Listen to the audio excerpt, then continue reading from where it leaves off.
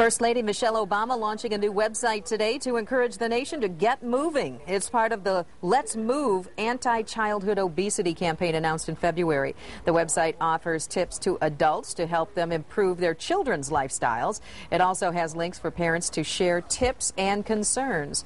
Joining me right now here at the live desk, Kyle Morrison, an exercise physiologist at Helen DeVos Children's Hospital in Grand Rapids. Thanks for joining us today. Thanks for having me.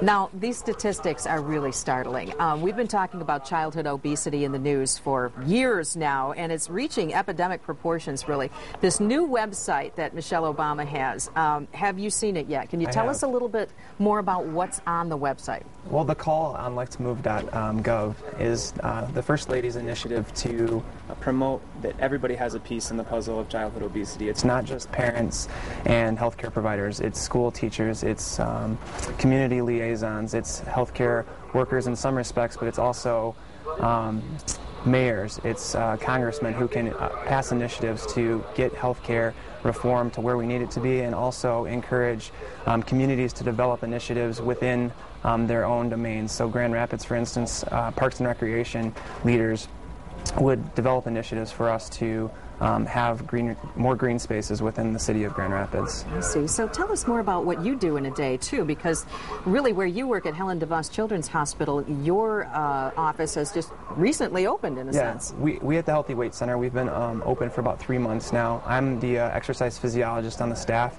Uh, we work as a team. Uh, we have kids come in that are above the 95th percentile for BMI, which classifies them as obese for their age and gender. And I work as part of a multidisciplinary team um, with a dietitian, a social worker, and two pediatricians, as well as a psychologist. We kind of tackle the problem um, with the family and the child all together. What kind of resources are available to families, do you think? We do have a website available um, that lists quite a few resources in the Grand Rapids community. Specifically, our website is DeVosChildren'sHospital.org slash Healthy Weight Center.